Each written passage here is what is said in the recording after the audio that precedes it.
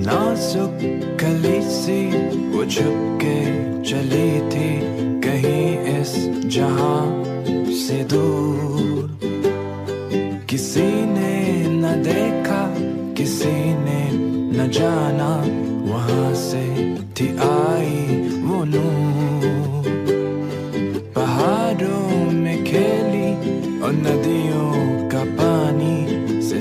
सिमटी थी उसकी वो रूह सूरज की किरणें और बहती हुई झीलें, वो रहती थी शहरों से दूर।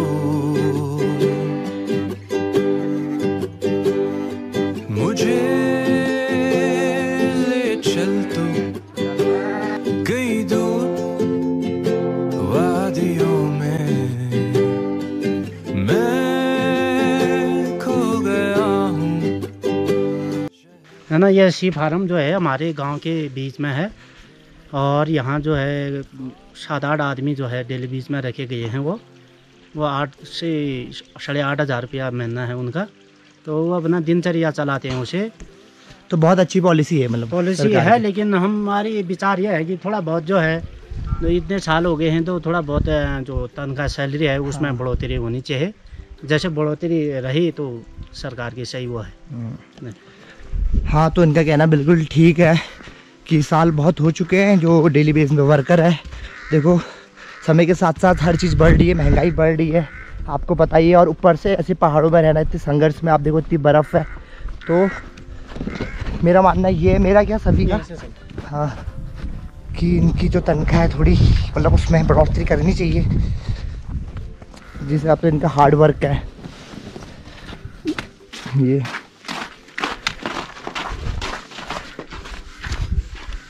ये देखो यहाँ पे लगे हैं वर्कर काम पे।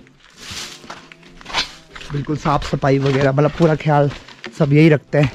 अबे ये कौन मिल गया मुझे? ये देखो, ला ला ला। भाई साहब।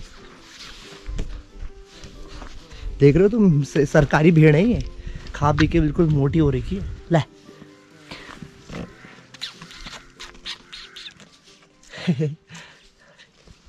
ये है कुछ यहाँ का नज़ारा। भीड़ हमसे डर रही है।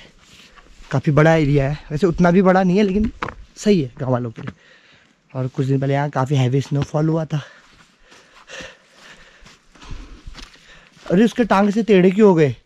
कहाँ? वो देखो। अरे उसकी वजह से हो रही है। अरे ये? हाँ। ये कुछ ऐसी बीमारी आ गई ना? अच्छा। तो लंगड़े टाइप की हो गई। साल एक आध साल से चली है ये बीमारी। अच्छा। हाँ। अभी एक आध साल से कुछ बीमारी चली इन भेड़ों में।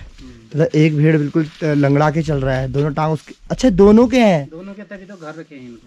अच्छा इनके टांग। जंगल जाते ओहो। हम्म। ये ठंडे से तो नहीं हुए? ना ना ठंडे से नहीं तो इनके टांग देखो तुम। ये। मुड़ गए हैं। चले। हाँ।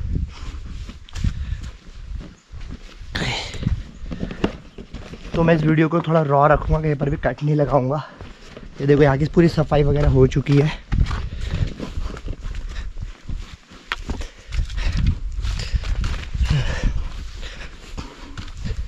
काफ़ी प्यारी जगह है, सामने पूरा स्नोफॉल हुआ है और यहीं से ही गर्मी से ही आपको आगे खड़किया जाता है, खड़किया से फिर आप खाती जा सकते हो, खाती से आप पिंडारी और कफनी ग्लेशियर भी जा सकते हो। अगर आपको ट्रेल पास करना है तो वो भी होता है यहाँ से। ट्रेल पास एक इंटरनेशनल ट्रैक है।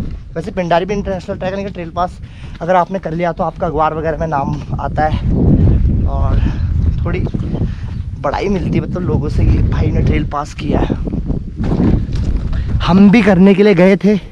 मैं भी गया था करने के लिए एक बार। तो हम आधा कर पाए। पूरा नहीं गए, क्योंकि बहुत गंदा वेदर रहता है वहाँ का हमेशा। बर्फ़ काफ़ी ज़्यादा रहती है। तो ये है मेन करमी ढॉन। और ये भैया का होम स्टे है। इसका नाम भी करमी ढॉन है। अभी इसकी ज़्यादा पब्लिसिटी नहीं हुई है। वैसे चलते फिरते कोई आ गया तब ठीक है, जैसे हमने, लेकिन करनी है। हाँ खुला है। तो अभी हम जा रहे हैं। आपके चचा है ना वो? हाँ हाँ वैसे ही। हम्म, तो आपने सुबह यहाँ पर फ्रेश वगैरह हम यहीं हुए थे नीचे। और मुआत वगैरह हमने यहीं धोआ धोया था। तो बहुत प्यारा व्यू आता है। सनराइज़ यहीं से ही होता है। और यहाँ की खास बात मैं बताता हूँ आपको। यहाँ पर नल का पानी जम जाता है सुबह लेकिन शीर का पानी जो आता है वो गर्म आता है।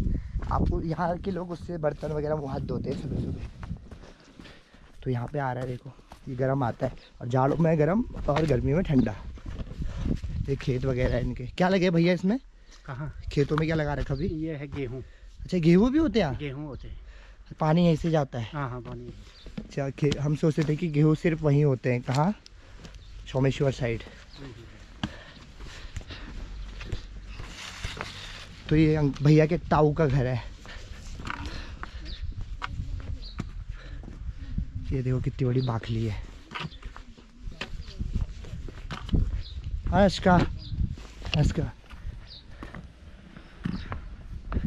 अमेजिंग व्यू यार। सामने बिल्कुल बर्फ़ पड़ी है। और ये, आजकल लोग ऐसे होम स्टेज में रहना बहुत ज़्यादा पसंद कर रहे हैं। मतलब जैसे गाँव की फीलिंग सारा आपको खाना पीना गाँव का मिलेगा। ऐसे ही आपको रुकाया जाएगा। चलो भैया चलते हैं। चलो।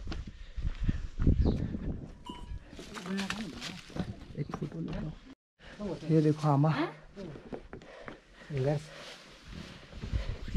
गाय के लिए घास लागे। हमको इनकी कटवाली ना कुमाऊनी नहीं समझ में आ रही यार। हम भी कुमाऊनी है लेकिन हमको इनकी कुमाऊनी समझ नहीं आ रही है। थोड़ा गढ़वाली मिक्सचर है क्या? ना यहाँ कुछ हटके है कुछ ना? अच्छा एक बार बोलो कुछ। हैं?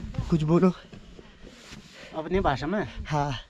तुम कब आया बिहानी और? और कहाँ तक जा रहे थे? ये तो समझ में आ गया। आ गया?